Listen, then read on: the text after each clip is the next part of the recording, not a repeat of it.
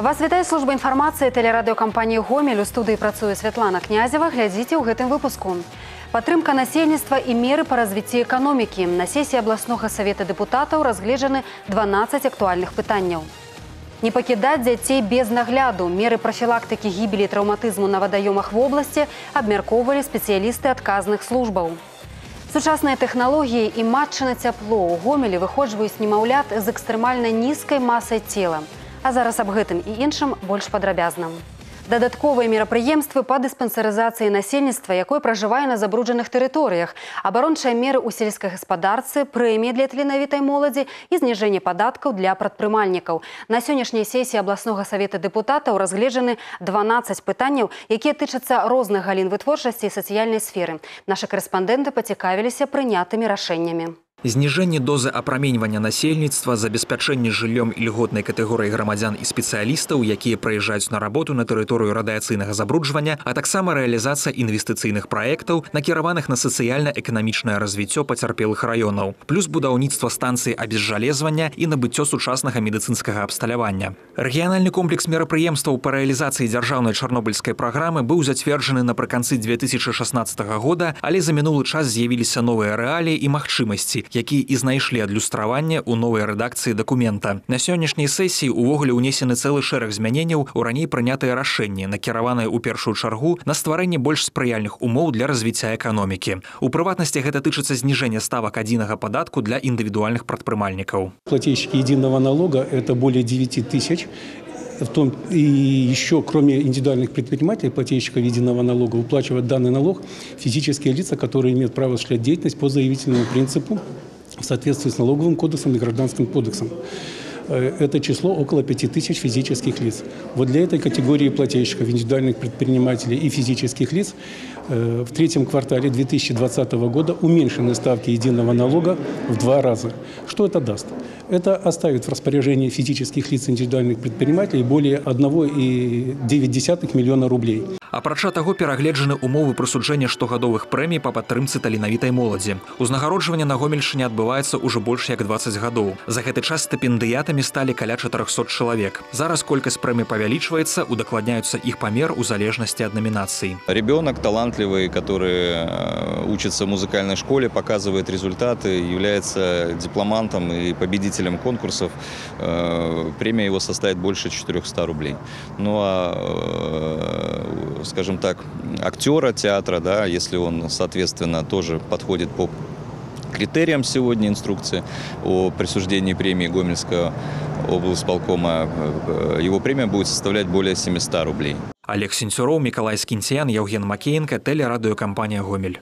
Першыя ахвяры гарачага лета. У гэты панядзелак у гомельскай вобласці адбыліся два няшчасныя выпадкі на вадзе з удзелам непаўналетніх. Адзін з іх скончыўся смяротным заходам.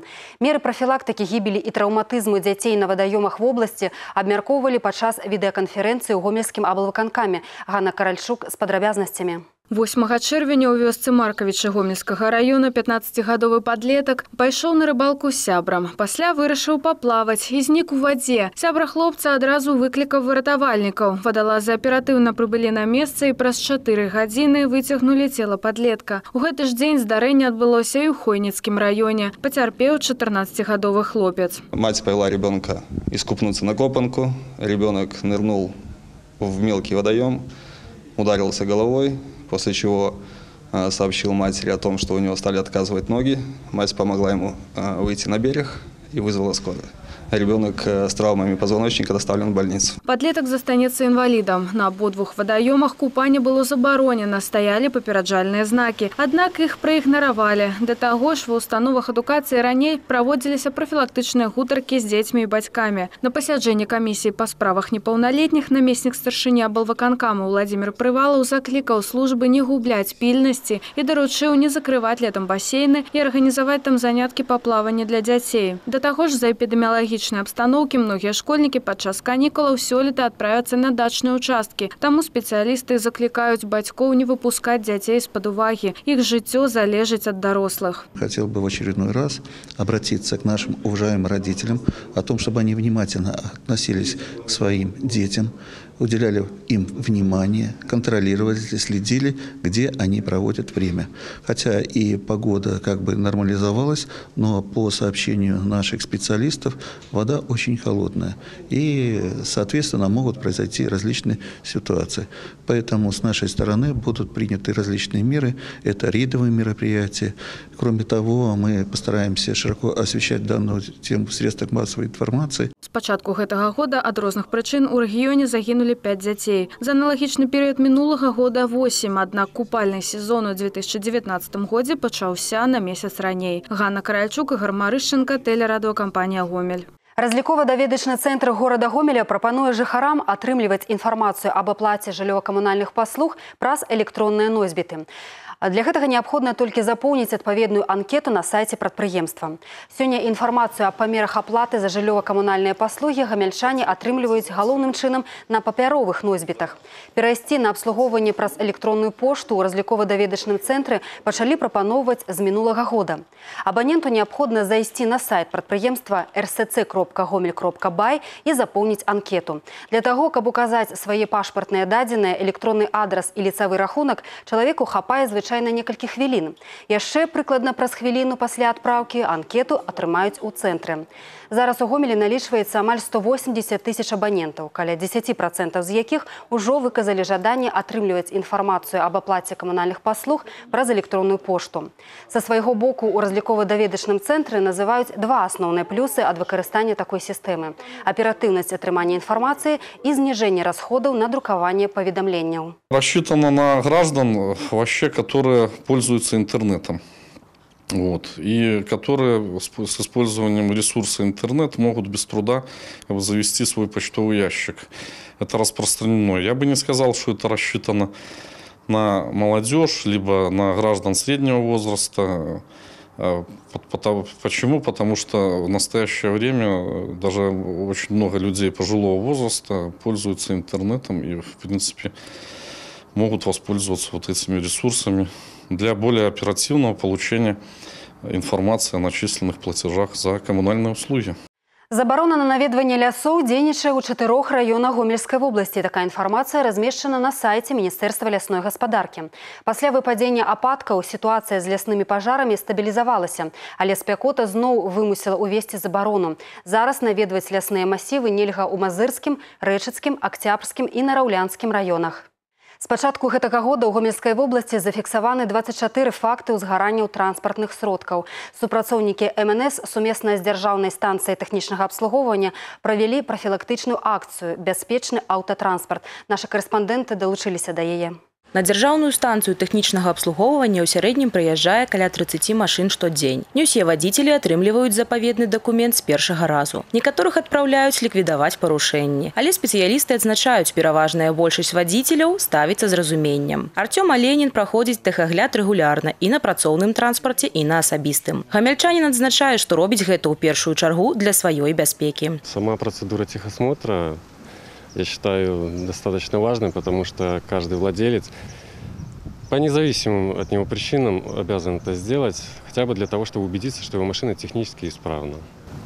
Я прохожу как бы регулярно каждый год. Я знаю, что у меня машина исправна, и я ничем не рискую. Хотя я и стараюсь это делать и сам постоянно поддерживать ее в таком состоянии. Сёння выратавальнікі нагадалі вадзіцелям аб правілах бяспекі і мерах прадухілення ўзгаранняў, а таксама раздалі тэматычныя брашуры і бланкі для нумароў тэлефонаў. З пачатку гэтага года ў вобласці зарэгістраваны 24 пажары транспартных сродкаў. Гэта на 17 процентаў больш, чым за аналагічны перыяд 2019 года. У выніку ўзгаранняў 17 адзінак тэхнікі знішчаны і 20 пашкоджана. Асноўныя прычыны ўзнікнення пажараў, парушэнне правіл эксплуатацыі і механічнае разбурэнне вузлоў і дэталяў. Автовладельцы, приезжая Э, на гостехосмотр смогут не только проверить свой автомобиль на безопасность для участия в дорожном движении, но и получат профилактические материалы э, по предупреждению пожаров в автотранспорте, а также э, смогут узнать, как необходимо правильно действовать в случае возникновения возгорания автомобиля.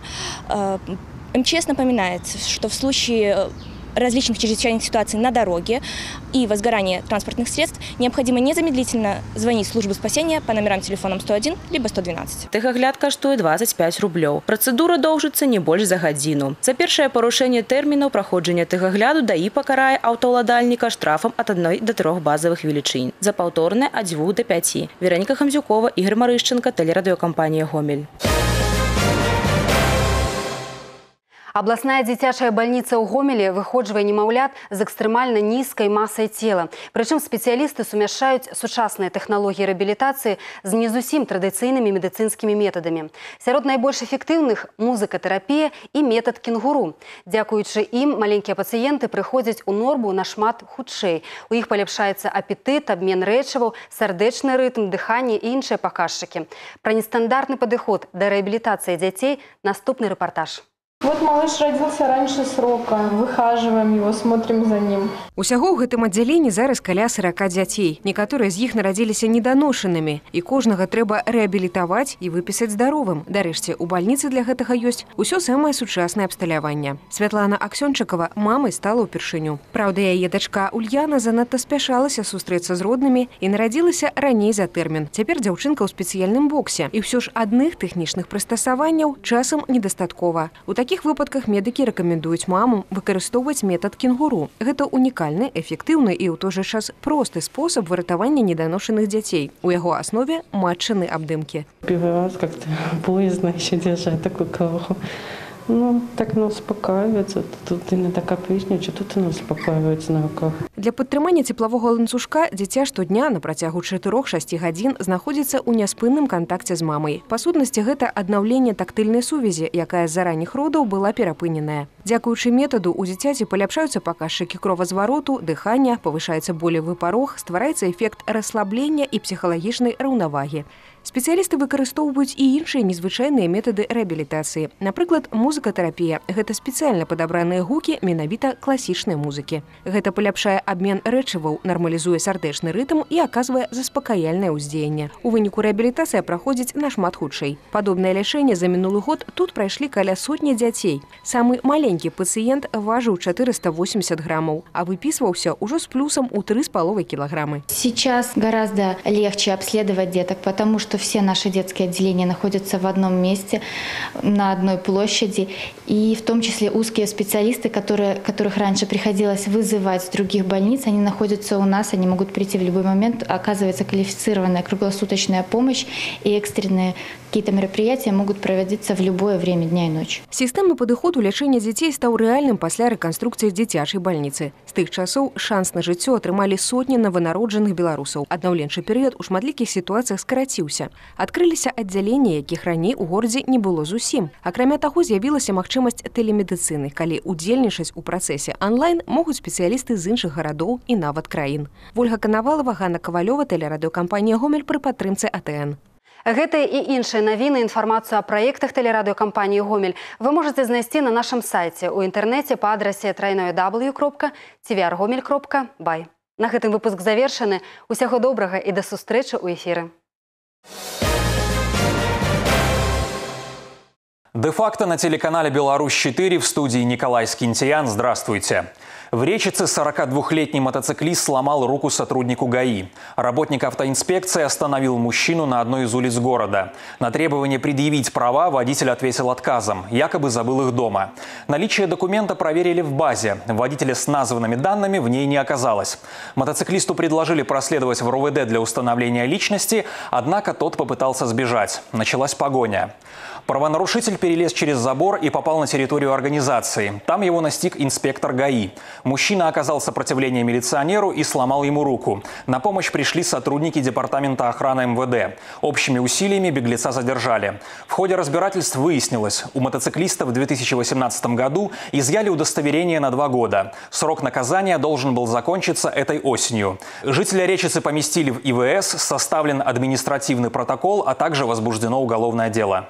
Героический поступок лесников из Лельчицкого района не остается без внимания. Напомним, на прошлой неделе в деревне Иваново-Слобода произошел пожар в одном из домовладений. Горели сарай и кровля жилища. Работники местного лесничества Сергей Роговой и Александр Воробей первыми его обнаружили и спасли от пожара двух мальчиков 4 и 7 лет.